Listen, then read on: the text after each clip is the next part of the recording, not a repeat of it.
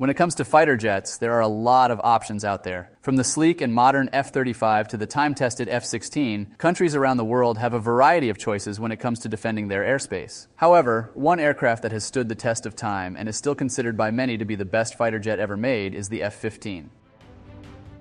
The F 15 is a twin engine, all weather tactical fighter jet that was first introduced into service in 1976. It was designed by McDonnell Douglas, now part of Boeing, to be a high performance air superiority fighter. The F 15 is known for its speed, maneuverability, and advanced avionics, which make it one of the most capable fighter jets in the world. One of the key reasons why the F 15 is considered by many to be the best fighter ever is its superior performance. The F 15 is capable of flying at speeds of up to Mach 2.5 and can climb to an altitude of 65,000 feet. It has a combat range of over 1,000 miles and can carry a variety of air to air and air to ground weapons, making it a versatile fighter jet that can handle a wide range of missions. Another reason why the F 15 is so special is its advanced avionics. The F 15 was one of the first fighter jets to be equipped with a glass cockpit, which replaced traditional analog instruments with digital displays. The F 15 is also considered to be a cost effective fighter jet.